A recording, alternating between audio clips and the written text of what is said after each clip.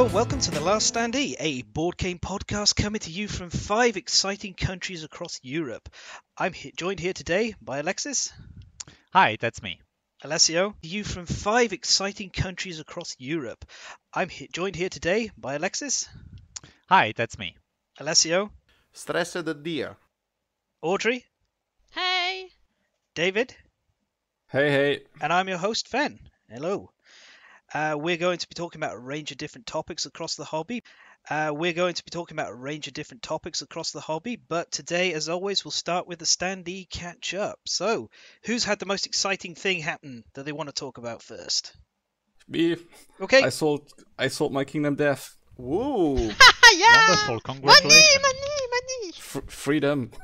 liberating as, as you felt. yeah, even more because now I have time to actually play other board games, and also like uh, yeah, like some burden of responsibility was taken from my shoulders. I feel like because like I used to moderate the uh the Reddit, the King- Kingdom Death subreddit, and things like that. More uh, storage space now as well. Yeah, Yeah. a lot and the money. and money. That that already helps. left. Yeah. Yeah, I can say, uh, as somebody who used to moderate uh, some of the Kingdom Death community, it is a heck of a load dealing with um, with, with that community sometimes. It it was a relief when I stopped doing it. I mean, I met a lot of um, amazing people, like you, Mhm. got, you, you people here. Well, of course, us people here. Of course, we're amazing! Of course, we are people. Yeah, yeah, I mean, that's true. Well, meanwhile, here. Yeah, yeah, I that's true. Well, meanwhile, here I got a package this morning which is more storage for my Kingdom Death miniature, so it's the opposite direction completely. And that's cool. Yeah. What storage? Uh, I already had the Feldherr, Feldherr uh, big two boxes, but I grabbed a 150 millimeters high cardboard box with trays to put inside. I, u- I reused some of the trays that are in the big set, but the, um, not the specialized one because I don't have a second Sunstalker, for instance, but the ones for standard miniatures, a big miniature and a small one. That the big ones were completely overflowing my my storage. So and I of course bought too many trays, so I have two that are outside of the box. But next time I need more, I will just buy a box and less trays. Yeah, I, I'm very- I gotta say, I don't have a second Sunstalker either. yeah, I- I'm I'm very bad at buying storage. I always buy too much or not enough or not the right size. Or... But I keep doing it. Okay. Meanwhile, my my uh, my kid, uh, my young son, uh, got got uh, in contact with kid in quarantine. Of uh, luckily, is not is negative at the, the the first check, so he just need to pass another check and is okay. But the whole family is quarantined with him and uh, add to this that i was for work reasons i, I was working with a japanese time bit on the crazy side today I hope that everything goes well. Um, not yeah. super great to have a, a kid in quarantine for COVID. yeah i, I have what is called a thousand yard stare But you you can keep cool because even if you talk with your hands, we won't see it. Uh, yeah of course of course and uh, of course you you could hear the kids screaming me screaming or both so it's okay Um, on my side, I've been. Um, it was my birthday last week. Happy Uh, birthday! Uh, Again! yeah happy birthday Uh, Birthday! Uh, Again! yeah happy birthday Congratulations. Happy Sorry, I, I was immediately going to say congratulations and happy birthday, and I failed to unmute myself. So my dog just stared at me. that's a trap um, so uh, yeah, not not too much in the um in the board game side or anything. Uh, I've been I've been yeah, not not too much in the um in the board game side or anything. Uh, I've been I've been pretty busy. Uh, and I'm currently uh to uh to stay on the topic of uh Audrey and um and David. Uh, I've been waiting for my pinups to arrive for now almost a month uh, that they've been in the um in the custom in the custom office. So I'm expecting everything to go really well. Yeah, I uh, I believe I just paid the customs on mine today. It seems to be about the right amount. How Um, much was it if it's uh, not? f- no, um, about nearly forty. Uh, nearly 400 kroner, but 30 euros. I I always forget to drop the think of a zero. Very It- it tight. I, I I have to deal with pounds, dollars, krona, and euros every day, and I, I constantly get the amounts wrong. So, uh, yeah, yeah, around 40 euros total, including handling fee, a bit Okay, less than that. Yes. So I, I don't have to await it. I don't have to await it, uh, 300 euros uh, Oh, God. custom. Okay, I, I wouldn't be paying that. Oh, I, I wouldn't either. Th- there's a pretty good chance that I might uh, send those peanut bags and ask for a refund though, because I I don't think that uh, Adam handled it in any though, because I I don't think that uh, Adam handled it in any positive way, and I have less and less uh, excitement for those pinup every day. Uh, the the um, uh, my fondness of uh, Kingdom Death from uh, four years ago has uh, four years ago has melted a lot in the past uh, couple of years of public relations. It has been very difficult to sustain um, excitement and interest when, if you played a fair bit, the material is a little tired and rote now, and what we've had come out has been very small addition, the exploring of the, the puzzle pieces and discovering combos and stuff, but we're pretty dry at the well now. Um, yeah, I mean, in in four years there hasn't been much to to help that, and Adam's uh, behavior in those four years and the way that he, he handled this um, help. I'm I'm still very excited for the GC, but the the pinup now that are just um, extraneous to the game have a lot less um, allure than they had a few years ago. So I might um, ask for a refund or, or maybe just uh, sell them and, and um, ask for a refund or, or maybe just uh, sell them and, and keep uh, the ones that I like. But yeah, Yeah, I've already been uh, approached by a couple of people who are like, "Oh, I'm not sure if I want to have this. Are you interested?" Because as a painter, I I could probably paint and resell for extra value. I could probably paint and resell for extra value, but I got to think whether I even want to be doing that when I've got um I've got some Sankakushin models coming. You know, so I have to think about my time. Yeah, it takes some time. Yeah. Yeah. Um. Okay. Uh. So that just leaves me. Um. Okay. Uh. So that just leaves me, and um. I well. Uh. We just yesterday started uh, my group, my role-playing group started playing the Enemy Within campaign, which I have just I, I love it to pieces, and it's been utter bedlam and mayhem, and they've not even gotten out the first location yet. That's where we were for the whole night. Um, so it's it's I'm looking forward to it. It's been very role playing heavy, but I have an advantage in this campaign. I know it very well. This is the seventh time I've run this now, I think. Um, and I, I never and the updates for fourth edition have been phenomenal. They've expanded on everything. They've adjusted some of the like not so fleshed out areas. Um, so it's been wonderful. Yeah, uh, actually, I am uh, usually against modules for uh, role-playing game, for pen and paper ro- role-playing game, but this has been my favorite. Of course, I never played uh, Mask of Nyarlathotep for Cthulhu, but uh, actually, the enemy within uh, uh, has always been my favorite. I remember it reading, uh, reading about it when it got translated in the, I think, in the early '90s in Italian, and since then, uh, my favorite. Yeah, yeah. It's uh, this is its third revision set since it's been first come out, um, and it's the best one yet. Absolutely fantastic. But also, uh, I I decided I've I've had a, a couple of messages of people saying how much they love the box opening, saying how much they love the box openings on the Patreon, and I've had uh, a request of like, would you do a box opening? And I'm like, no, hell no, I'm not going to be on camera ever again for the rest of my life if I can avoid it. I'm that camera shy. But I had a package arrive today, and I've got no clue what's in it. Uh, so I was just gonna dive in and and make s- d- just just see what we've got.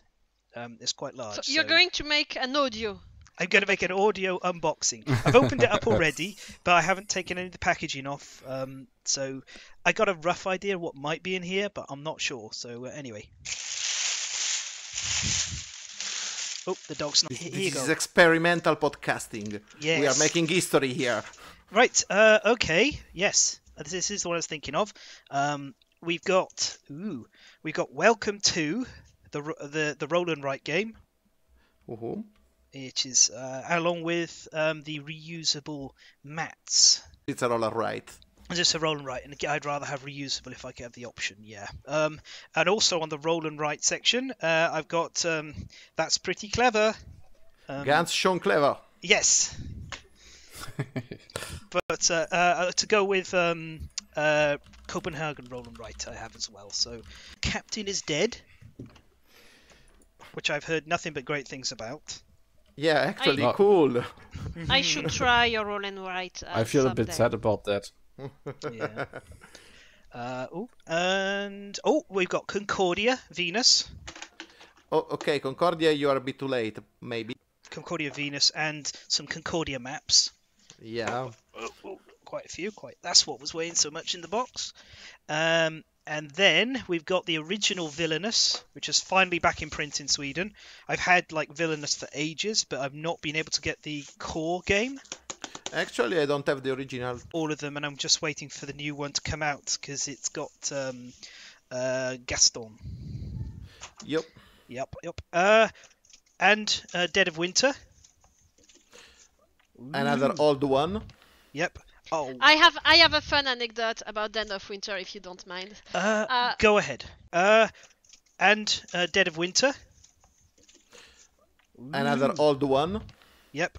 Oh, I have I have a fun anecdote about Dead of Winter, if you don't mind. uh, uh, go ahead. When I arrived in Italy, uh, three, four years ago now, uh, I initially didn't really speak the language, but I have a fun anecdote about Dead of Winter, if you don't mind. Uh, uh, go ahead. When I arrived in Italy, uh, three, f- four years ago now, uh, I initially didn't really speak the language, but I learned fast. And I found a board gaming club there, and we went there in a board game cafe, and uh, we played with. The, I had the the event cards to read, and I could read it because I knew how to pronounce the thing, but I had no idea what I was telling. It was like, oh yes, I am reading this, and I don't know what's happening. Yeah, it was fun. That is fun. I, I I've owned the game for years, but I lost it when moving over to Sweden. Um, we finally get out of a proper lockdown, and last of all, I got Flamme Rouge.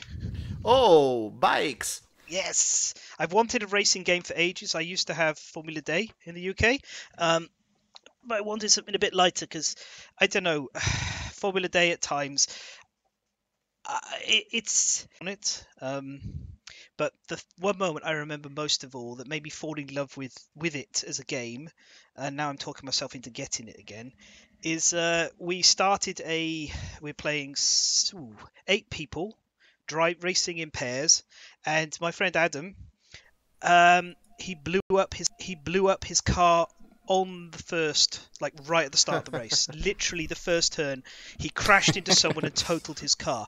And we we looked at this and went, okay, like we're going to be here for like two three hours. Um, should we restart? And we decided to restart. Should we restart? And we decided to restart.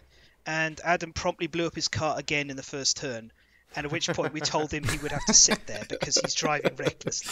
Like at that at that point, I was like, I, I love this. Uh, if I remember correctly, I won with my racing partner Chris. Yeah, that was right.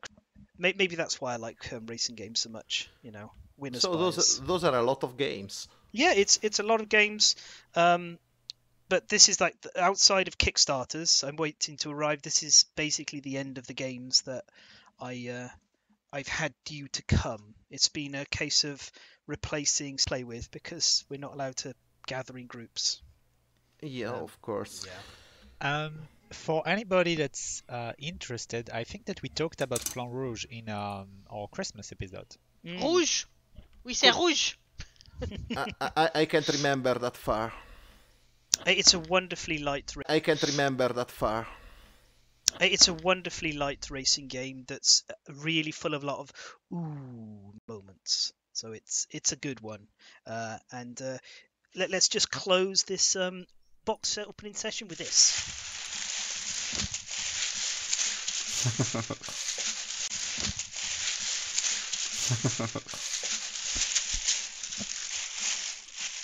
There we are. That's, that's how you know the segment's finished. Some ASMR for uh, our listener. ASMR. Yep. Right. So we're all caught up, I think, unless anyone have any last business.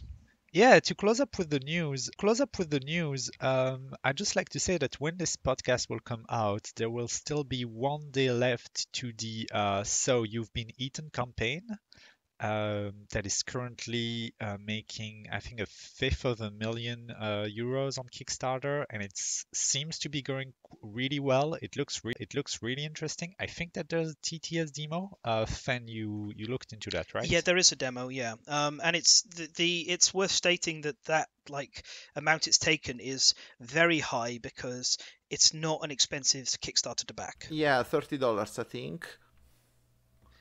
Yeah, it, it's. Uh, I've not yet played the demo, but uh, since Fen recommended it, I can only say that it's probably a good game. Yeah, asymmetrical zero to two players, right? Yeah, asymmetric zero to two players is exactly how you describe it. Yeah. Yeah, super cool. Uh, speaking of Kickstarters, I think that in this podcast will come out, there will still a few uh, days to back Everdell, the, both the complete collection, which is getting a bit of beef on the internet because of the pricing, and uh, the new expansion for Everdell, and I think that John Company Second Edition about uh, the time we we publish this podcast. Yeah, rah, rah, rah, rah. How dare people who are just joining Everdell get a good deal? yeah. Anyway, uh, Everdell base game is always super cool. Mm. You don't uh, need to feel compelled to add expansions. It's uh, it's a good engine builder. Yeah, and very yeah. very pretty and uh, relatively easy to get into. Yeah. So so the, the this wraps up the new sec- the new section for this episode. I think. Yes, yeah, we should get on with talking about games, games, games, games, games. And I believe the uh, the person to lead us around on this uh, little exploration. I have my little uh, rulebook of Unlock in my hand, so I'm I have everything. What is Unlock? I think many people today know what Unlock is, as in it's a board game which contains escape room type type like uh, stories, adventures.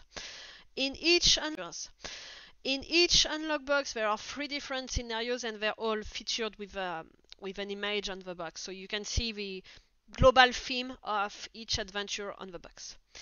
The, and there is an extra few cards which are an intro scenario just to uh, familiarize yourself with the rules. Extra few cards which are an intro scenario just to uh, familiarize yourself with the rules. The art of Unlock is that every single adventure is contained in 60 cards. There is no exception that I know of. Even in the Star Wars Unlock, it's the same. And it's I know of. Even in the Star Wars Unlock, it's the same. And it's like that. Just 60 cards and an app on your phone. The app has to be there because some mechanics use the apps there are different mechanisms in the unlock, so you rarely have to compare to an actual um, escape game. You mostly have to combine things to think how to do the right combinations, how to use the right item at the right place. So th- there is no really, yeah, the, you don't have the act of searching, even though you sometimes have to search for a specific card in your. Don't get the feel of rummaging through drawers, etc. But that's obvious with a card game you have different mechanisms in the unlock. The first one is to combine objects. So you have some items with a red a puzzle piece and other items with a blue puzzle piece. You have to combine them properly and to add their card numbers. So for instance, if you had the red 11 and the blue cards 35, you have to combine them to do 46 to have the resulting card. Search for it through the deck and then get it. That means you have solved this. There is another mechanism which is uh, discard cards. Generally, it's when you've used everything that you could get at that point you can discard it. But I, I think that's a clever mechanics because until you've exhausted all the possibilities that deride from a first card, you have to keep it in play. And I think that that goes against the risk of missing something, which is missing something which is good because the, the idea is re- really to, to find everything. I, I I think it's a game that's not very punitive, in fact, because even when the time is off, you can still finish it and you will not have uh, a good grade, but that's not what's important. Whereas in a real escape game, a good grade, but that's not what's important. Whereas in a real escape game, at least the ones I've been to, when the timer is done, it's done. You have to get out because other people are coming next. So that's a bit for for different reasons, but. Um, you will have some machines which are green cards. They have a um, you will have some machines which are green cards. They have a number, and for these you have to put their number in the phone app. That's where it's uh, it's useful. And then you will have lots of different things that are in machine. You can think uh, of them as mini games, basically. Uh, somewhere you will just have to enter a number, like you're facing a digicode. Or some others where you have to link things. In the Star Wars, there are, uh, I think, machines in the Star Wars Unlock games are really fun. The Unlock uh, Star Wars games is a bit less hard than others. Sometimes you will have to look uh, attentively on your cards with attention to which uh, makes you draw another card. And you can use the app to get um, hints. If you feel lost, you can use that, and generally the hints really help you uh, know how to use a card. I think that uh, what's fun is that every a specific mechanics. Uh, not to, I'm not going to go too deep into this, and especially not to uh, spoil too much. But uh, for instance, one in the Unlock Mythic Adventure uh, box is the Noside Adventure, where you use where you're playing as the Doctor Noside, uh, who has allows you to transfer your conscience into an animal. That's really the, the first or second card, so I'm not really spoiling much there. And you will have to take your phone, on which you have a, a pistol uh, button. And when you press the pistol button you can aim on the animals which are on the other cards and shoot to transfer that's a use of the app that's a bit different. And every single scenario that i had done so far really has that little thing different from others. Sometimes you have to really think outside of the box like literally to to to find what the the specific what the is yeah, actually, th- this game um, Unlock is uh, uh, well. Let me say, I am a fan of the series because uh, I love puzzle puzzle games and escape rooms. So uh, I always played the, the I'm a, a, long player of the other series, which is basically by Inka and Markus Brand, and it's a cool series. And actually, it was uh, a bit ahead uh, at the beginning because uh, the, the actually all the all a game like this is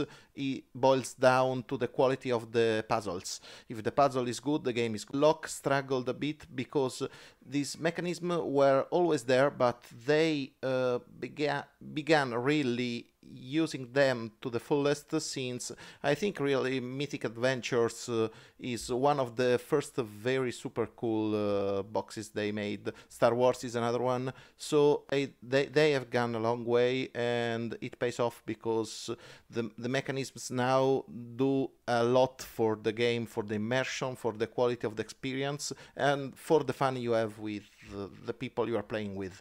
So yeah, th- that's a very big plus. Of course, I- am not a fan of an app an, an, app forced to me uh, to play a game, but I, I have to say it pays off. Yeah, but if an adventure uses the sound, you need it. yeah, yeah, actually, you, you need it, and it's not a plus, but it's worth it. Yeah, well, I mean, and exit exit's more sort of physical. Uh, uh, if I remember correctly, you're actually called upon when playing exit to cut pieces apart and do Yeah. one-time things and it's pretty much it, it comes under that um, board games as a pizza as a consumable where effectively you're getting one experience. I think unlock has a slight edge in that a slight edge in that you can play it and put it on the shelf and come back to it a few years later and maybe not remember everything that's going on. Exits very much you have the experience it's done for, for me Or you can sell unlock. yeah, oh, yeah, you can sell it or Yeah. pass it on to someone else, which is a nice thing as well. Um, I would say I I think adjacent to this genre which is a nice thing as well. Um, I would say I I think adjacent to this genre is my preferred, which is um, the crime ones. So the Sherlock Holmes Consulting Detective and Yeah. um, Chronicles of Crime, although uh, that uses an app and and I think in some ways I and it uses a uses an app and and I think in some ways I and it uses a timer as well and I kind of like that Consulting Detective is slower paced. It's also worth mentioning just came out um, is it's very hard to get your hands on is Micro Macro which is again adjacent to this whole genre uh, but it's crime crime based and it's very visual still There is a there is a problem with micro macro in that uh, it's a bit more limiting in the amount of players. Because out of un- unlock you can play at four and thinking, but micro macro is more searching and looking. So if you are four around the map, yeah, okay, that's good. But more kids they're going to slap each other because I want to be the one looking. yeah, It will happen. Yeah, they, they've Yeah. added a few extra puzzles on the website as well for it, and you can um, go and uh, play a demo um, online following around the one particular crime in the story to get an idea how micro macro play story to get an idea how micro macro plays. Um, yeah, yeah. I mean, for me, like with all of these, once you're done, you're kind of you're done. You know, like Sherlock Holmes, you sit there and you do the you you you, do all the reading in the newspaper. You go to different locations. You get to the end, and Holmes turns up and goes, "Well, actually, you're not very not very good because I did it by this this this and this illogical jump of logic and this and this, and I scored this many points and you scored what? How many? You're pathetic, and you feel like Scotland Yard in one of those novels. In contrast, Unlock and Exit, I feel let you you can you can feel smart. You can make those jumps and those logic of these puzzles. And Unlock, I feel, is a bit more rooted in the like the puzzles are linked to where you are. It feels a bit more like you're in there. Um, whereas Exit, sometimes they're a bit more abstract. Uh, could be because uh, in the end all exit adventures look the same. I think was the best one because it was a bit different because there were there was logical thinking when you have to decide who was the murderer. But except of that, yeah, uh, you can abstract because the theme is just there to to, to make a setting for a game and just that. Yeah, on on on unlock we had a lot of hey I'm good moments, but we also had a lot a lot of how did we how, did they think of that specific enigma? How did they? Oh, actu- actually, th- that is Exit 2. Uh, if you play Exit, I played the local- uh, localized in Italian. Uh, if the translation is poor, like uh, the Arctic base, which or the polar base, I don't know what's the name in English, but that one was translated so poorly that an enigma, wa- that a puzzle was completely unsolvable. Because of the translation, they added an article and it ruined complete, completely the schema. Oh, uh, the same ha- happened to a German version as well. Like I think we played. My wife got a gift of Exit. I don't remember which which one it was, but like there were like some puzzles which didn't make any sense at all. Like uh, there was like low logic to it. It was completely random, and we solved it to like small. Par- and then we had to look up the solution, and the solution was completely different. Like Yeah, and uh, and mind me, Exit is an excellent uh, uh, escape room series. I love it, and I I think I have all titles, uh, except possibly the latest one, which are not translated. But I have to say, Unlock made rig improvements since the start, and currently I think it's the le- it's leading. I, mostly played the newer unlock, so I'm not able. I, well, actually, I think I played the first one uh, years ago at a gaming convention, and yeah, I was a bit meh. Easy, easy.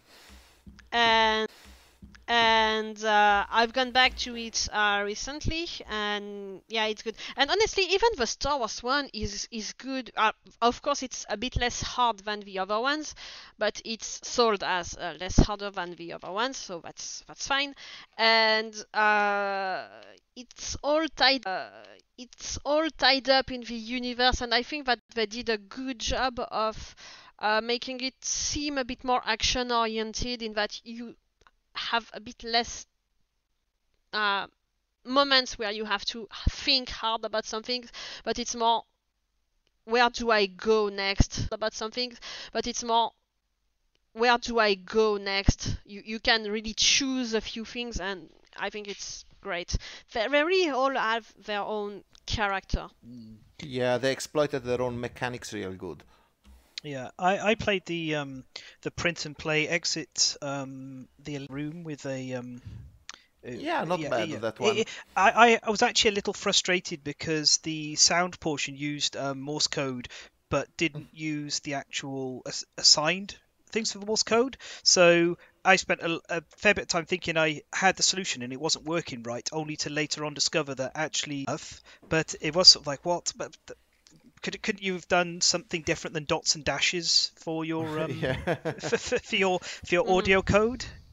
Um, Yeah, we, we played one unlock that has uh, an audio code at some points and um, an audio code that changes at off, and so we just couldn't solve that because we had forgotten to turn the audio until it was too late.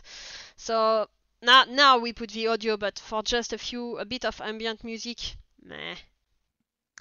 Um, I've uh, I've played a bunch of um, of Unlock. My I've uh, very much enjoyed pretty much all of them. The thing that I usually really like with them is that there's a lot of um, card puzzle that requires you to superpose cards to have like different effects when you play with them, and I think that um, that's always fun to to find. Like a a, a card will be a sort of um, of ruler, for example, that you can use to then measure another card, and it gives you like a hint about uh, what code to use or something like that. Yeah, or when you have to look at the backs of the cards. Yeah, that um, if you're t- talking about the one that I'm thinking, uh, that uh, that one is really good. Uh, it's a it's a really fun ending. I'm not sure which one you're talking about. so- Uh, so so small spoilers, so I'll probably uh, problem of, mute- of, of, of mute these that in the uh, in the editing, but uh, I'm talking about the pirate adventure. I haven't done the pirate adventure. Okay, well then uh, there's something happening with uh, with that. Well, um, seeing as uh, all of you are quite experienced, uh, if you were going to recommend one particular unlock adventure or exit adventure, or even one of each, for those of you who played both, which one would you recommend? I, I I am for unlocked exit uh, murdered at, at the Orient Express. Absolutely. Uh, I would say that um, for fans of Star Wars, yeah, the Unlock Star Wars is great. But I played uh, Epic, Mythic, and I bought Timeless Adventures, but I haven't played it. And I liked Epic, me, uh, Unlock Epic Adventures. The Special Agent uh, adventure is great. Uh, I'm going to recommend the um, uh, the pirate adventure from uh, Unlock. I think it's it's really good and fun, and I think that in the same boxes it comes with the uh, an underwater kind of um, uh, Captain Nemo inspired adventure that I also found pretty interesting because it had some uh, fun oxygen mechanics. Uh, the pirate, it's mist. I think it's mystery adventures. I see a Think big so. octopi underwater, Yeah. a haunted house, and a boat with a parrot Yeah, that's the on one. the cover. So that's mystery adventures, the second unlock. All right, cool, good. Nobody's recommended the Sherlock Holmes one because I haven't played it. I, I, well, eh, regardless, I want to trash Sherlock Holmes this episode. I don't also have anything positive to say about him. Maybe in the future.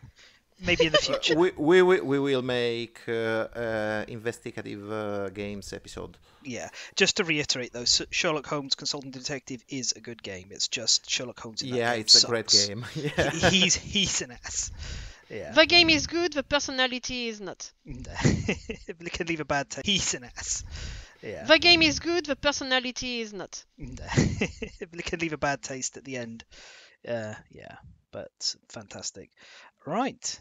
Okay, so we're gonna move on now from one type of adventure to a more kind of uh, standard board game adventure. We're going to be looking at Struins of Arnak, uh, which is a it's a 2020 release. It's a one to four player game where you are all uh, archaeologists on an uncharted island in a mysterious sea, ocean, um, uncovering the remains of an ancient civilization. Very, uh, it's it's one of the hotness. So, um, I'm going to take the lead on just explaining this game. And in essence, it is, as I said, the two systems bolted together. First of all, I got to say, I appreciate the theme here. I like this genre of um, archaeology, which is the bees, or to be give its proper name, Thebes.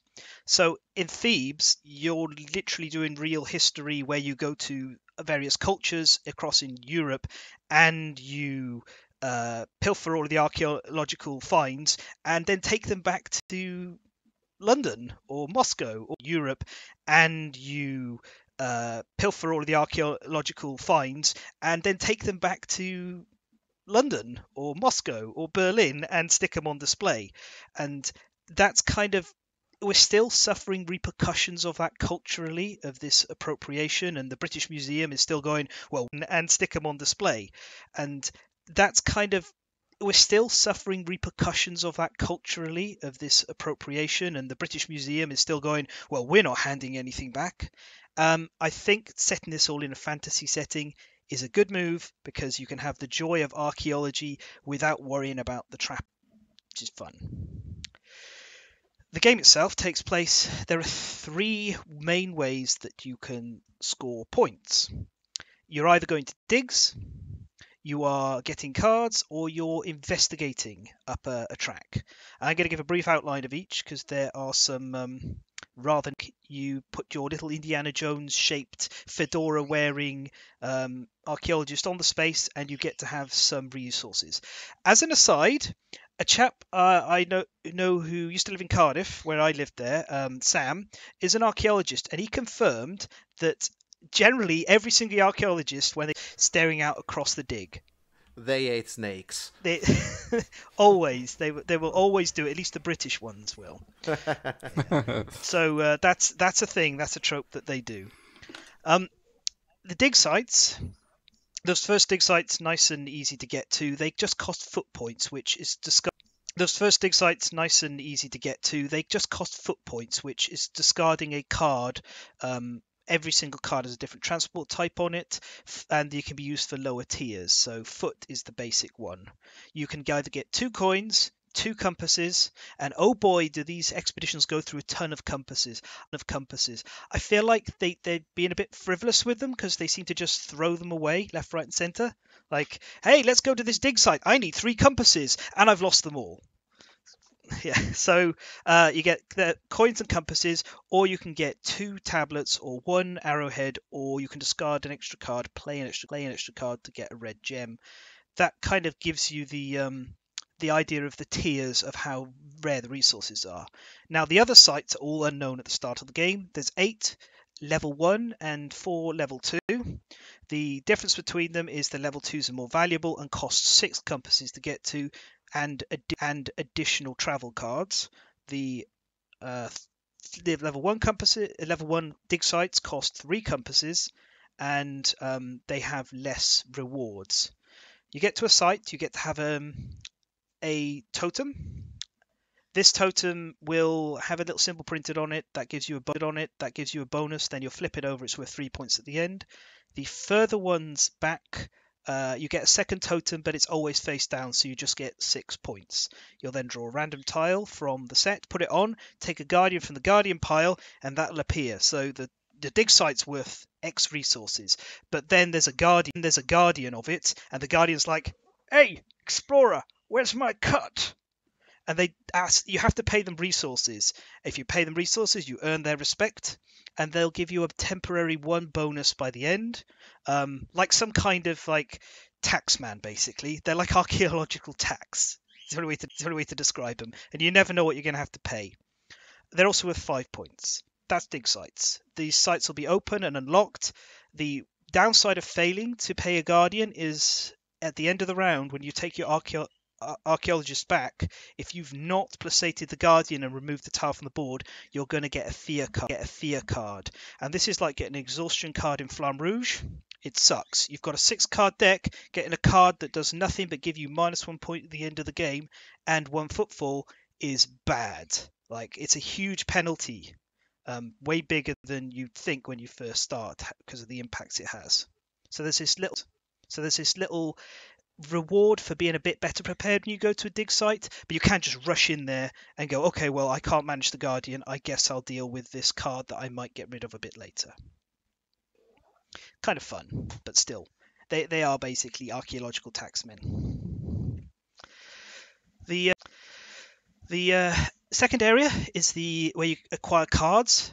Uh, initially, there's one artifact card, four items. Artifacts are gained by spending compasses because, as I mentioned, these archaeologists just throw compasses away all the time. Uh, Yeah, and they I, use it like a sonar. yeah, it's like, oop, yeah, yeah, yeah, it's like, oop, yeah, yeah, exactly. They they chuck them like ender eyes in Minecraft, just use them to navigate. Where did that compass land? Head that way. Yeah, exactly.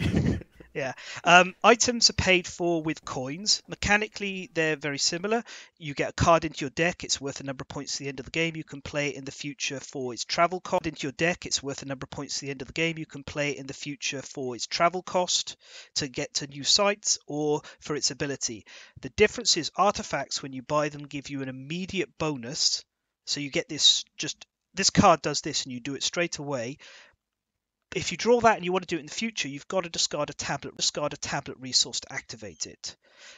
Otherwise, they are very similar. The mix of the game's interesting because as time passes, the you'll be moving this magic staff across a round tracker in between the card slots. It kicks out cards and increases the number of artifacts in the tr- in the line. So by the end of the game, you'll have four artifacts to choose from. More and more artifacts being found, and having less and less of your original gear available. I will say personally, I love the items the most because there's a dog and a parrot. Not biased. The doggo is wonderful and the parrot steals you gems.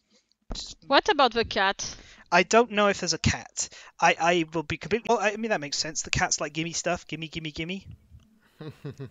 My mum's a huge cat person. She uh, did I did I mention before she's got a new kitten, yeah, in Calico. Mm. a calico. uh, Um, yeah, yeah. My mum's new kitten Poppy is a calico. Yeah, actually. Yeah. Uh, when we talked about Calico, you said well, she'd adopted a, a the runt of a litter. So yeah. Uh, right, third board area. It's like a um, a a track you walk up. Uh, you have choices on which direction you go. You have to pay resources to go to the next level. The interesting portion of this is you have two pieces that you move. You move your magnifying glass first, magnifying glass first, and your book will follow, and you have to pay separately to move them all the way up. Um, you cannot ever move your book above your magnifying glass, representing that you have to do the investigation research before you can write it down in your book. There are different rewards for going up each tier. This track basically gives you one-off bonuses, um, points at the end of the at the end of the game, and is how you unlock your research assistants. On the bird side of the board, that's where you get them. On the snake side, you represents later expeditions. You have to rescue one of your assistants. They've got themselves in a bit of trouble. They've been abandoned by a previous expedition. Uh, you know, gotta wonder. Um, Czech Games Edition have established and agreed, well, with basically said, hey, uh, yeah, this this portion of the board is a bit superfluous because it's where you just put resources and tiles. It's not even it's cut off. It's a separate part, so you don't have to put it out if you don't want to. Um, and to be honest, downsides of this game, um, space is a major problem with it. Um, so yeah, and last of all, you have your own player board. It's just a place to keep your deck and your assistants, but it has a really neat mechanic where you've got four spaces on your board, and they're worth one, two, three. If you leave them open for the whole game, ooh, you get those points extra. That's ten bonus points. But if you take one of the idols you've collected and put it over a spot, you lose the points, but you get a quick boost, a temporary like injection of bonuses. Kind of like you've taken the idol and maybe traded it away instead of giving it to a mu- giving it to a museum or something or to whoever would own his culture. You know, let's not think too much about. They belong in a museum. Yeah, who knows? But you know, enjoy the gems or the coins or the compasses as you want. Uh, so I like that mechanic where you start with this effectively like here's this bonus of ten points, but you can get yourself little bo- bonus of ten points, but you can get yourself little boosts to your engine to help you move faster and do things more often at the cost of those points. It almost feels like a loan system. The only other thing to note is that this is a deck drafting game. You'll have six cards to start with. They're identical. They're two fear cards and four other cards for each player. For each player, and you will gradually build on those. All new cards gained plus the cards you played go on the bottom of the deck shuffled, and then you will draw again. So you tend to cycle through the same cards a lot. It's um pretty exciting because you know normally when you buy a card you'll get to use it the following turn. And there we Uh, but, but what I found really interesting. and there we Uh, but, but what I found really interesting, like when you find find those artifacts, I think uh, they you can use them immediately. They go to your, to your hand, right? Uh, do you, you get to use the ability on them immediately? Yes. Yep, yep. That's one of the small things I've found like really cool. Yeah, it's the uh, benefit. Yeah, it's the uh, benefit for get because you have to spend compasses to get them, uh, which you also spend to go to dig sites. So there's a bit of a cost, and that's your benefit, a little bonus. Yeah, I- actually liked a lot the the way the deck building part is constructed because uh, well, I, I negative consequences expressed as cards, so I, I actually like the fear cards and the fact that uh, when you have fear, you can still use it to move away. So that's uh, that's cool, and also the the fact that cards have double effects, like you can play them for traveling or for their effect. That is a winning move in this kind of game. But I, I actually uh, is my i- have to say that I still didn't have the chance to play, but I read the rules carefully because I'm actually very interested in this game. Uh, is the worker placement part a bit weak? Am I wrong?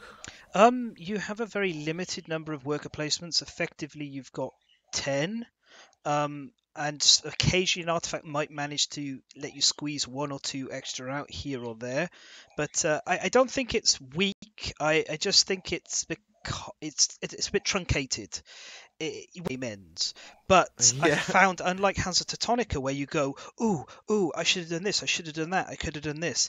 Uh, when when um, Arnak is over, it, you feel a little bit more like, oh, uh, I, I didn't even get to the interesting part. Um, and you spend a lot of your time reacting to what the game is doing, rather what the game is doing, rather than planning a strategy. Yeah, th- there's a bit of randomness uh, in that you you could uh, you could uh, play everything good and still be unlucky with the guardians or with the sites you get at random and have a bad game. Yeah, yeah, it's very reactive. At random and have a bad game. Yeah. Yeah, it's very reactive. I, I've I've had games where I've gone in and I've been like, I want to do an artifact strategy this time, and I've gotten almost no compasses, and it's just not been possible to get in on them. So I've had to do items or work on my um, research, and it's good you've got lots of different areas into any one of them in in depth and detail. And for me personally, um, it's a bit dissatisfying at the end. I think that's something I, I would be frustrated with. Yeah. Oh, I, I actually think that this game is good for introducing new people because it's pretty it's very simple. Uh, I think that the, the the bad part about it is that it uh, is a bit expensive for the experience. We were going to get into that. That was what I was leaving for Yeah. the end. Um, but uh, Oh, spoiler! well, well, we, we may as well move to it now, seeing as I've talked I've talked mostly about the the game and how it works, and here comes down to the, the rub of it. So for me, this game, as you've said, it's too expensive. It's too large.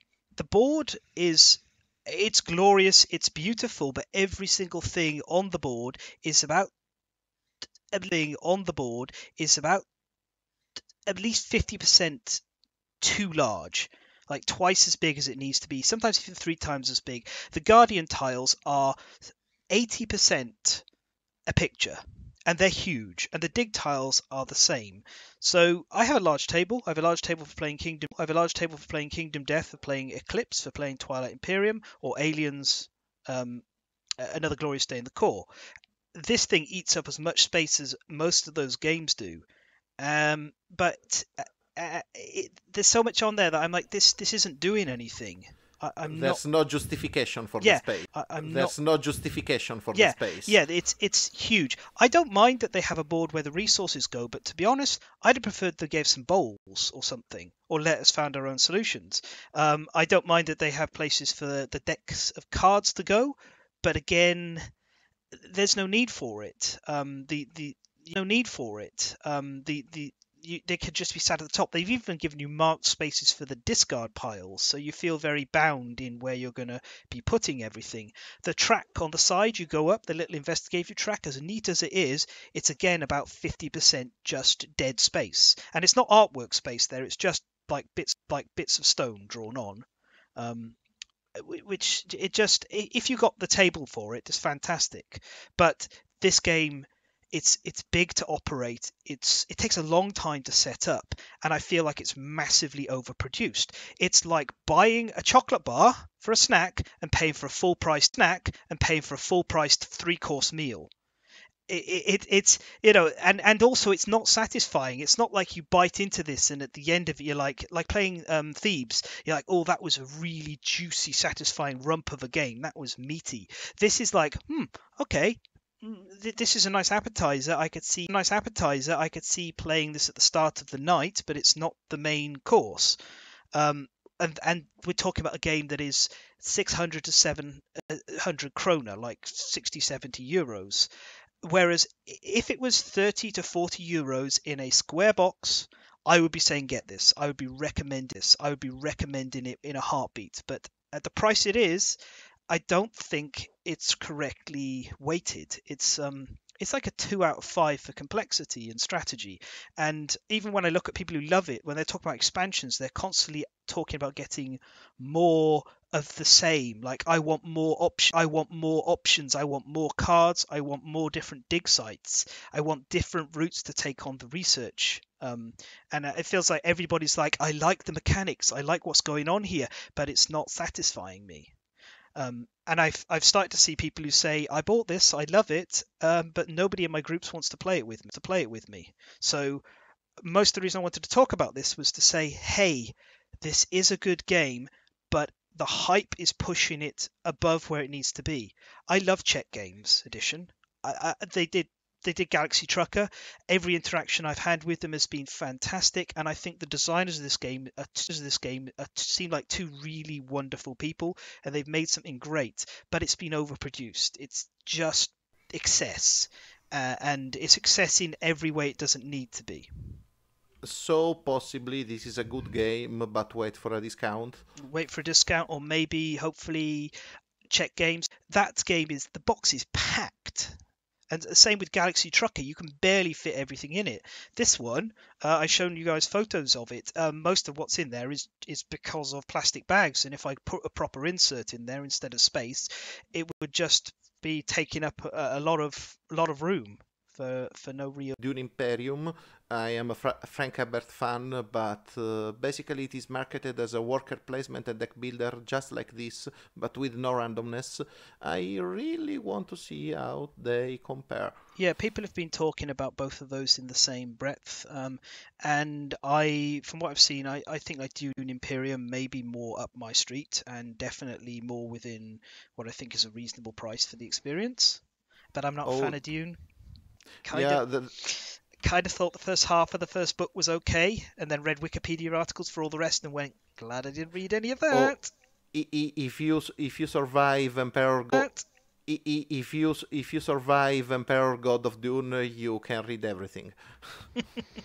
I survived Imperial God of Dune when I was 13, and that was too early. And then I opened, uh, in French, it's the um, House of the Mothers. I don't know which one about the Bene Gesserit, and I was done with it. Yeah, actually, know which one about the Bene Gesserit, and I was done with it. Yeah, actually, fifth and sixth book uh, uh, are still great, but the fourth book is uh, is a bit on the boring side. Yeah. Yeah, well, let's not get off into Dune. I'm sure we'll talk about this some point because uh, the actual, you know, Dune board game itself is. Fa- uh, I think that's all we have to say really on Lost Ruins of Arnak, unless everyone has any tidbits or trivia. Yes, I do have something to say about it. The game is coming in France in a few months. I think it's for April, I'm not sure. And it's been renamed in French because Arnak, uh, which in French is said arnaque, for scam. So I think they didn't really like that and they decided to rename the game. And so in French it's Les Ruines Perdues de Narak. Oh my they God. just switched the N position. It's to an make it anagram. So, less, uh, so, so, so it would be the Lost Ruins of Scum. scam. Scum. Oh my goodness! So you're just digging through like an old pyramid scheme to try and figure out what's going on. I mean, it's still got pyramids. oh, wonderful. No, like a scam, like when you send money on the Yeah. internet and it's a Yeah, fake. yeah, Yeah. like a pyramid Yeah, scheme. like a a pyramid pyramid scheme is one of those, yeah, or a It's Ah, li- pyramid scheme. Yeah, Yes, okay. yeah. I, I thought pyra- pyramid. Why, why does it have to do It's with it's like that episode where there's Coach Ferratu, which is a vampire. Really, Coach Ferratu? Do you want to get caught? Yeah. Well, uh, we're going to stay on theme for exploration and journeying now with a look at uh, a heck of a smash hit from Serious Poulp. Uh, yeah, back in France. yes, back in France again. Uh, Woo! Yeah. Um, so the Seventh Continent is a narrative uh, exploration game with a strong emph- emphasis on uh, push your luck mechanics, where you play as a 19th century explorer with a sort of um, Jules Verne meets Indiana Jones vibe. Uh, your character was part of an expedition on the brand new uh, mysterious seventh continent, but after their return, they realize that they've been cursed and need to go back to lift uh, said curse. Um, concretely, each curse is a narrative uh, arc that the player can go through, and they they can all be uh, mixed and matched. Uh, although some of them mix better than other, and some of them uh, really do not mix with other curses. Uh, which gives you a hint on what region to explore and will change some of the parameters of the um, uh, of the adventures that you'll go through to explore and will change some of the parameters of the um, uh, of the adventures that you'll go through. Uh, and as you go through, you're, you're basically trying to lift the curse, so you'll get some hints on, on where to go and stuff like that. Uh, the way that the game plays is very clever, but in some way also limits stuff like that. Uh, the way that the game plays is very clever, but in some way also limits it. It's enter it entirely works with uh, numbered square cards. They are quite big, like uh, big like coasters. Um, Seven by seven centimeters. uh, uh, reveal it in a beautiful top-down art. The action that you take are going to require you to draw specific cards, uh, like a choose your own adventure book. Uh, to take an action, you need to do a push your luck and decide how many cards uh, of your deck you're going to draw. Um, given that if you exhaust uh, that deck, if you uh, put yourself in danger and have a chance to lose the adventure. Um, the card aspect is really fun, and I think that it's uh, a big part of the novelty of the game, but it also limits it in some small ways because some of the some of the aspect of the game might have been uh, handled better with just a dial or with just uh, some notes in a notebook or with something different. Uh, not not saying that it uh, makes the game feel lesser, just that um, it feels like it, it restricts the design in some ways here and there. Um, for a long time, feels like it, it restricts the design in some ways here and there. Um, for a long time, the game was extremely rare and hard to get because it got a first extremely successful Kickstarter and a second one, and they basically decided to only print enough for the Kickstarter and to uh, they basically decided to only print enough for the Kickstarter and to um, you know and everybody that got interested after the fact and heard about the game were kind of left in the cold and were told, "Oh, this game is really really good. It's amazing.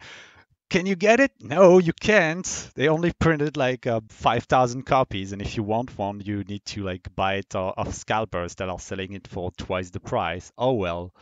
Um, later on, thankfully, they've done they've done reprints, and I think that the game is um, widely available now. Yeah, Except some expansions. I was going to say the um the swamp one, which is generally what I speak to, is impossible Yeah. to get.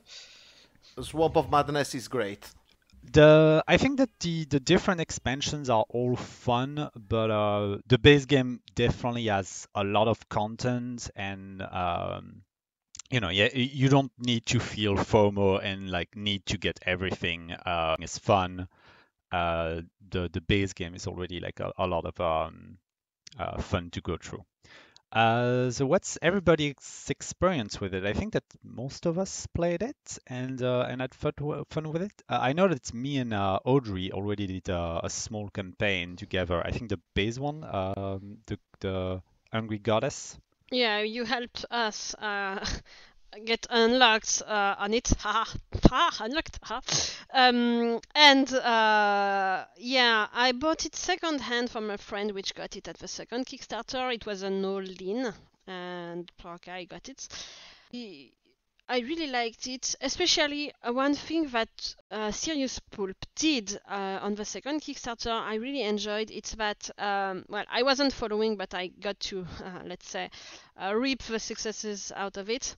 It's that they had they discovered that some of the cards were misprinted for box, and it was a switch on the um, a, a small uh, You Yeah, you could small, tell uh, you could tell dec- the decala- card, decalage, yeah, uh, the coloration of the blue back Y- of the cards, yeah. Yeah, i- it was it was nothing that prevented from playing. It was mostly and they reprinted for every single player the whole core game and send it without asking anything. And I think that's really a good policy. Yeah, actually, uh, it it was not important if you played drawing from bottom of the deck, but since all the curses were discolored, uh, a few other cards, it actually had a bit of impact in the game if you learn to recognize the cards by the back. Uh, in this game, when you exhaust the deck and when you draw a curse card from the discard pile, you are dead. So it is important that uh, this the, curse card is not recognizable. Otherwise, you will always know when you're about to die. I think I'm the only one who hasn't uh, played uh, Seventh Continent yet. I think, uh, I, but I think I might pick that up because I was like so busy with Kingdom Death. But now I have both the time and space for it. A- So- and now you have lots of money. But now I have both the time and space for it. A- So- and now you have lots of money. so I might pick that up because I'm looking for a cooperative game with my wife. So that might be a good pick, I think. What yeah, uh, I think it's it's a pretty good pick. Although the um the cooperative ac- uh, a- What do you yeah, uh, I think it's it's a pretty good pick. Although the um the cooperative uh, aspect, um, I think with two people it's really good. Uh, above that, it starts getting a bit redundant. You Yeah. don't need that many people around the, the table to to look at the cards and search through them. But I think that having two people helps to uh, really lessen the the burden and the exhaustion that you can get from like Eh. uh, searching through the cards to find the one that you you need to to get uh, to get into. S- speaking of mechanics, uh, Fen, how did you uh, how did you find your approach to the game? I know that you've played it recently. Came into it a bit later than everyone else, and I'm probably going to be playing devil's advocate in here.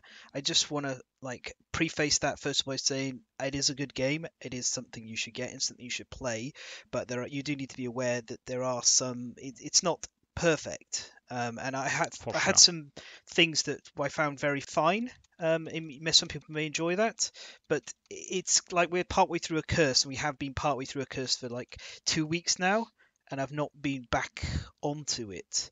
Uh, Is it the Voracious Goddess? yeah, so no, no, no, it isn't. Yeah. Um, and Oh, the first thing I did was I I did my research and I read that the voracious goddess did was I I did my research and I read that the voracious goddess was 30 odd hours. It could be 20 30 hours to play through, and I was like, I'm not doing that. No, no, no. That's the kind of thing I think your last campaign thing should be. I don't think it should be what the base game is. So we played um what goes up first of all? I think that's the intro. no, that- no. Um, what goes up first of all? I think that's the intro. no, that not what is No, sorry, not what good. goes up. The crystal song. The crystal song. Oh, the the intro Song, okay. quest, which was fine. We got a little bit of a wander around of the map, explored, came back and got a final score. Uh, and then we tried some of the other shorter scenarios as well. We tried some of the other shorter scenarios as well. Um, and th- that was that's my first complaint is I I would not be wanting to play the the voracious goddess in full. Um, it's the same problem I have with Kingdom Death. I I think if you're going to release your game, have a short a, a one session or few session campaign and then a big proper one in it as well just because it's hard to sit down with a bunch of people and say all right we're going to be playing this for the next month um, Here, it's here. a huge barrier and this is a game as well that, that that was what was fun about the crystal song was um, just dip it and knowing we got a certain amount of time once it's up we're just going to come back and that's that i also find having to go forage for food just detracts from the enjoyment of exploring um, uh, i really hated That's it that's a common complaint. Yes. Yeah, that's a complaint that's pretty much everybody had about the, the getting to the way of the, the play and the fun of it. Survival mechanics are fun in a game that is like one, two sessions Yeah. long. When you've been doing survival mechanics for 10, 15 hours, ugh, Yeah, I, I could say that about uh, other survival games. Uh, when there is, in my opinion, should not prevent from enjoying the narrative element. There should be at, at least some alternative rules for a story game, a story mode, at least. Yeah, or, Yeah. or even like checkpoints or way to not just lose uh, 10 hours of process that you are going to go through and ro- go through this exact same. exploration variant which is done uh, exactly for this purpose which is rather good i, I have to say uh, without uh, the survival mechanism probably this game will feel a bit less tight and it could be detrimental. It's also true that you die you quickly uh, behind every corner and that's frustrating a bit. For example when you enter a cave section you have to be super staked on food or you will starve in that cave yeah, it's it's not that, that there needs to be a mechanic for a time and there needs to be some kind of risk. I just don't think this is that there needs to be a mechanic for a time and there needs to be some kind of risk. I just don't think this is the right mechanic. I think they needed something else. Um, Yeah, so, something that fits the, the length and the way that uh, the game is Yeah. approached. Um, there, there's been a lot of uh, fan rules that um, that um, there, there's been a lot of uh, fan rules that um, that play on that and do some uh, some stuff that uh, I, I've tried a couple that really make it feel uh, still gripping, but you, you don't feel like you're going to um, you don't feel tired by the, the yeah the, to, to, to be honest if you start the game in easy mode with the idol which lets you die once and replenish your deck it is uh, a lot more forgiving. I think uh, I, I played voracious goddess for the first time wi- in easy mode i used the idol and that saved me i, I think the hours i think it saved me 10 hours of play so that that's uh, a way to enjoy the game the exploration mode which comes in what's up what goes up uh, must come down it's also a good way to play to play this game just for the exploration part because the exploration part is excellent that's the thing. excellent That's the thing. are- yeah. The but the best yeah. part of this is the exploration and the puzzles. And Yeah, the, the- Yeah. the, the the survival stuff is getting in the way in in not A- and the comfort creatures when you get them Yeah. Uh, I uh, also um this this is very much like a card expression of the old fighting fantasy games, the old choose your so um this this is very much like a card expression of the old fighting fantasy games, the old choose your own adventures. I feel like they've kept an artifact from that, which is they th- I I don't see the point in like cards one, two, three, fifty, and so on that are like the same every mission. Uh, um, the wound cards, the like the same every mission uh, um, the wound cards, the this is the book cards. I feel like they should have just been decks labeled as such and kept out because it, it, the first time you play, you go, "Ooh, I'm at a point and I'm going to do something," and I draw an O1 card, and you're like, "Well, that's probably going to be some kind of small animal as a food, but I'm not sure." You're iteratively replaying it uh, with new curses, and I just reached a point where I have a little dashboard now I set out, and all of those decks I whip them out from the various binders and lay them out just to save on time, because it's like, oh, we just, you know, oh, 03, that's experience, uh, 50, that's that's a journal entry, and it just feels like they've first thinking about what it's like when replaying. I don't need um, a special hidden away poison section because eventually I'm going to learn what the poison cards are, etc. And I, I feel like that that's adding a lot to the game. And for me, it was tiring until I stripped all of those decks out and just put them on the table all the time. When you when you start to learn that you get tired if you get a 103 card i don't know it's a bit a bit it's been a while since i played so when you get a one, 100 or something card you you will get a negative status so you know that there's a negative consequence. But it uh, is also true that the status cards are a bit different from each other on the same kind of card because they can be removed. For example, injured, you could. Uh, some cards will force you to discard, some other do- don't. Some cards will be removed with uh, an healing action, and some other cards will be removed just by by resting. Yeah. So What what Fen is saying is, uh, I I have a separate yeah, deck. yeah. just I'm not saying get rid of the thing. I'm lost just, in the yeah. middle of the hundreds of cards that, that you need to thumb Yeah. through. Or just have tokens and a reference card. Mm, Well, uh, the decks, as Alessio was saying, the decks are fine because they the wound some poisons just poison, um, and yeah, so uh, that's that's what I was saying was just it, it's just worked better since I've I've physically stripped those decks away. I, I everything else I think is fine that it should all be like different numbers and you're not sure where you're going and it's not all linked together in a, a fashion. But yeah, it's uh, those cards. Ye- yes. Yeah. Yeah, th- there's no there's no reason, for example, to have experience cards except for the small stories, which the first time you read them, uh, they are cool. Oh, I, I'd be happy with an experience deck. You know, just say, just Yeah. has experience on it, has the little cool stories. Every card can be the same. Yeah, yeah, fine. But um, you know, on it has the little cool stories. Every card can be the same. Yeah, yeah, fine. But um, you know, it it's the thing. The the other one, and I'm going to warn this especially for David, who I know likes to collect bling. Um, the neoprene map and the self-draw map notebook suck self-draw map notebook suck. Right. Okay. That's good to So- the, the, the neoprene map is a 7 by 7 map um, and it's too small. I've run off the edge of it on numerous occasions. It's not wide enough, and that is frustrating. Uh, the continent is 11 by 11, uh, and that so it, the whole continent doesn't even fit in there. Sure, you're not always going to explore the whole continent. That's just a given. But to to consistently like I have islands sitting off the side, off the edge of the map, and it's like uh, why couldn't it at least been 11 by 11 or been 11 by 7 or something better? And it's the same with so bad because you, if you draw on them, you can do multiple pages with bits and pieces. But it's just why is it? Why have you cut off those extra four spaces on either side? Also, and I'm not the only person who has this problem. They supply the neoprene mat in a box. It's folded instead of rolled. It has a line and iron out. I cannot get rid of it. This neoprene is like the same stuff you make swimsuits from. Okay, when it gets folded that badly, it takes it forever. So, Yeah, that that was another common complaint. uh, and last of all, a small one. I don't like the new box. It's too small. Eh, I, I keep looking at the cla- the the black like the new box. is too small. Eh, I, I keep looking at the, the the black box, and I'm like, I wish I had that. Not these brown. I have to run two brown boxes.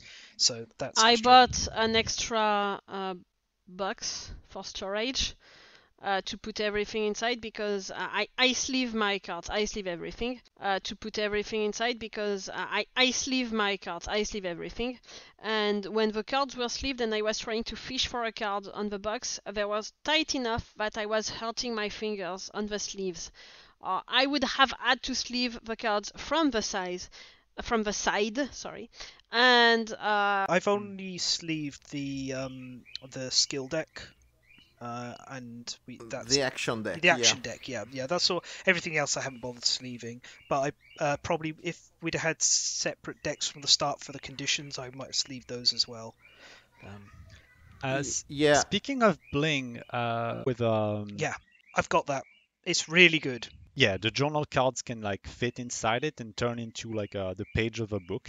That one works really well, looks great. Uh, I think that that's the best blink of the game and um, uh, so- something that I would recommend to get. Uh, I agree. The The person I bought it from had gotten the the, the, the Yeah. notebook, and yeah, it's great. I don't like the Uh, bone dice. They're, they're not very good. Yeah. Yeah. Oh, no, nobody liked the Bone Dice. This is the third com- common complaint. Yeah.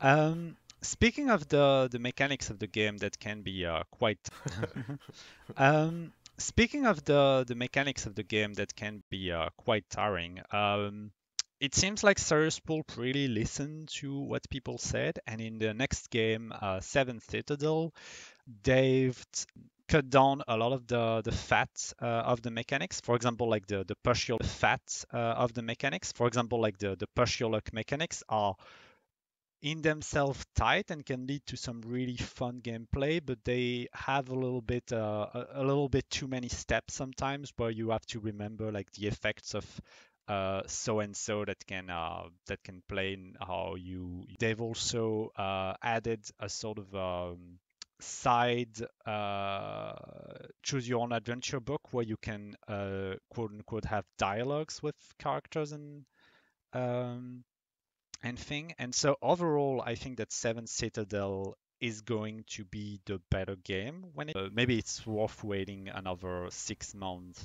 Yeah, ac- actually, Seven Citadel is a very interesting project. There's a lot of enhancement of the rules. The, the only thing that I, I think it could be weak is exactly the dialogue book. It depends on how it's written and played, but hopefully it's good. So it's an interesting. It depends on how it's written and played, but hopefully it's good. So it's an interesting thing, and we will talk about it for, of, for, for sure. Yeah, it's interesting enough, and Seventh Continent was good enough that I have jumped in on Seventh Citadel to see how it goes. Haha. It seems like your bird is having quite a fuss behind you, Fen. Seventh Citadel to see how it goes. Haha. It seems like your bird is having quite a fuss behind you, Fen. It's uh, it's Nimbus. Uh, he's he's in a timeout in a separate cage because he attacked Merkel. He's going through adolescence. He's having a rough time. But uh, let's not talk about that because this is all we have time. All we have time for this episode.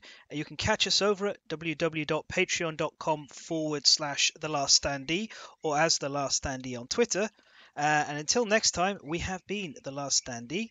So goodbye from Alexis, Uh, from Belgium, au revoir. Alessio.